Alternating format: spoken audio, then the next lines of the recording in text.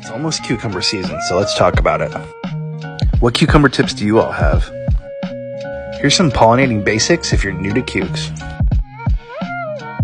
This is the female flower of a cucumber plant. You can tell by the way it is. But really, there's a tiny little baby cucumber there at the end of the flower.